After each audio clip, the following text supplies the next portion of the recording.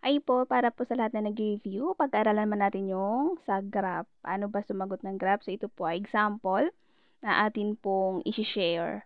So, ang tanong dito is down. So, ibig sabihin yung following. And then, sinundan siya ng girl. Ibig sabihin doon sa uh, something. Tonon is or. Topyoe. So, topyoe is yung graph.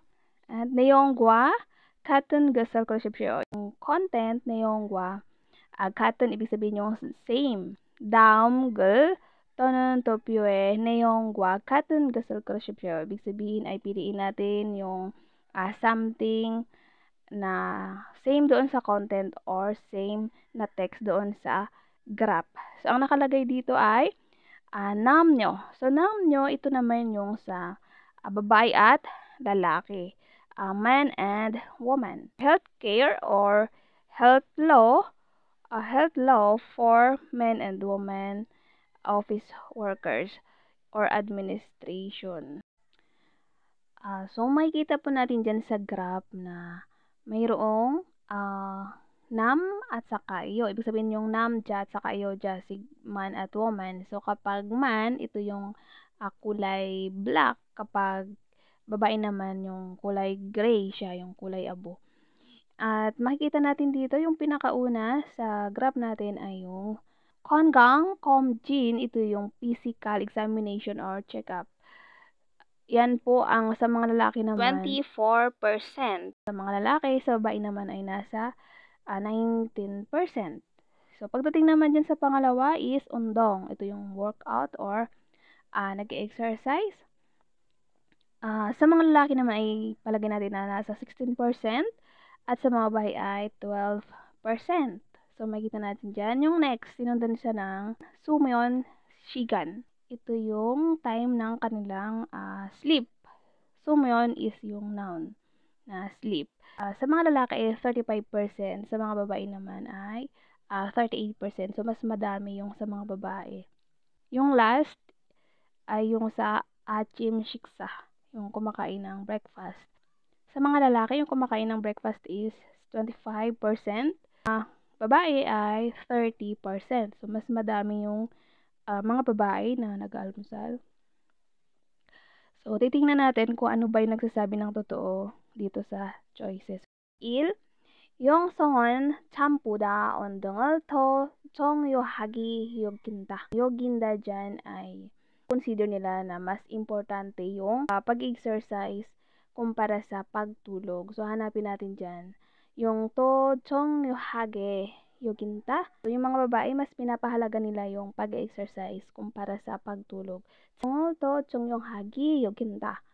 So, yung mga babae daw, yosangan, mas uh, importante chong yo hagi yoginta or pinoconsider nila na mas mahalaga yung undangal to, more, yung pag-exercise, puda, than sleeping, champuda. So, ano ba yung percent ng pag-exercise ng mga babae ay nasa 12%, at yung sa uh, pagtulog naman is nasa 38%. Ibig sabihin, mas pinapahalaga nila yung pagtulog. So, baliktad. So, sa, punta tayo sa E1. So, E, namnyo modu, chanen 것 Kachang chong yahagi singkakanda.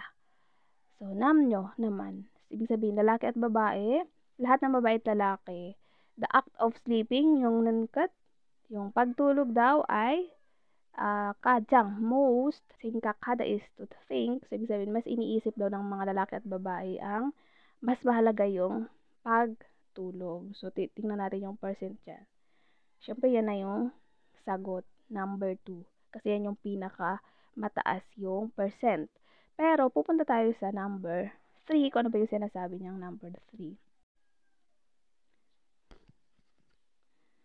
So, dito naman sa sum. So, sa sum na tayo. Nam songan papuda kongang komjinal tomani sonteketta. So, ibig sabihin ay mas pinipili daw ng mga lalaki yung uh, mag-physical examination or physical uh, check-up kumpara sa pagkain. Contact kita is to choose or mas pinipili to money na uh, mag uh, physical examination, yung kongkang communal, papuda is kaysa sa uh, kumain. So, ang check-up ng mga lalaki ay nasa 94%. At ang pagkain naman nila ay nasa 35%. So, hindi siya tugma or hindi siya same sa graph. Sa sabon, simol mongnan saraman yosong poda namsongi tomanta. Yung pagkain nila ng morning or breakfast ay mas madami daw ang mga lalaki uh, kumain namsongi tomanta kaysa sa mga babae. Yosong poda. Yosong is babae, namsong is yung lalaki. So, ang mas madaming kain ay babae. 30% kasi ang sa babae. Pero sa mga lalaki naman, 25%. So, dito sa ating graph, mas madami ang mga babae isa sa lalaki. So, wrong siya. So, the answer is number 2 kasi mas pinapahalagaan ng babae at lalaki ang uh, matulog. Okay, para po sa iba pang mga practice, maaari po kayong bumisita or mag-subscribe sa ating YouTube o kaya naman ay mag-follow sa page natin para sa iba pang mga updates. Thank you po.